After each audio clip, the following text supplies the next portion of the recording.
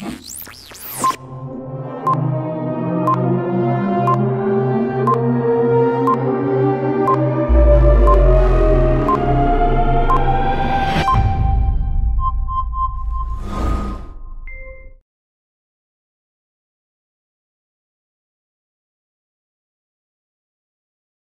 are listening to KZET Cornerstone Online Live.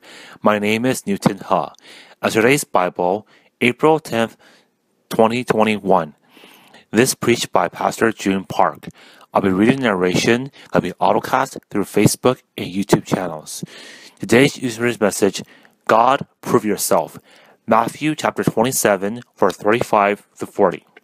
When they had crucified him, they divided up his clothes by casting lots, and sitting down, they kept watch over him there.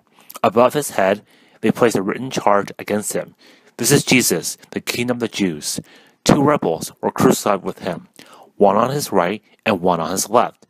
Those who passed by hurled insults at him, shaking their heads and saying, You who are going to destroy this temple and build it in three days, save yourself, Come down from the cross if you are the Son of God.